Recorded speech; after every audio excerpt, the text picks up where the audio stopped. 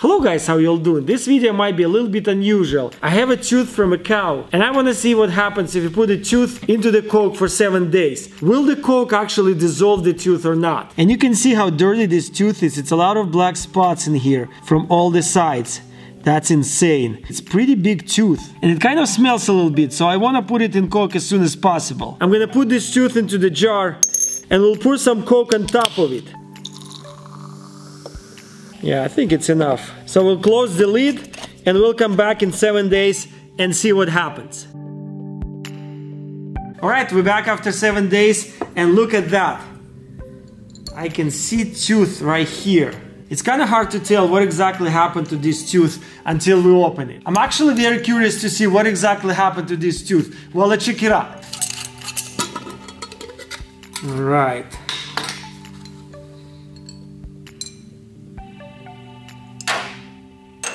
Ooh. Look at this tooth.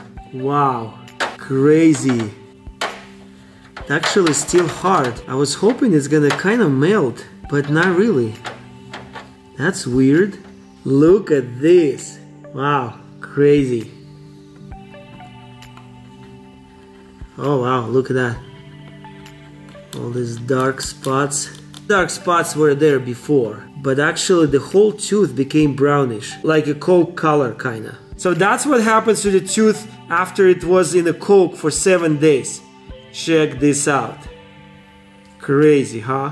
Well, I don't know, there's nothing more to it. it just the tooth became very kind of brownish and, you know, it smells really bad. Well, there it is. I hope you guys enjoyed this video.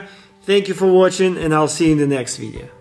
And I want to see what happens if you put this this tooth, this this tooth